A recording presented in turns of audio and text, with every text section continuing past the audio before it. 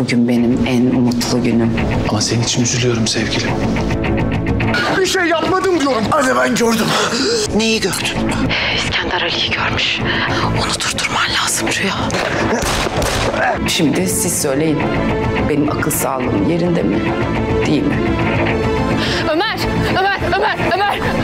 Flăcările destinului.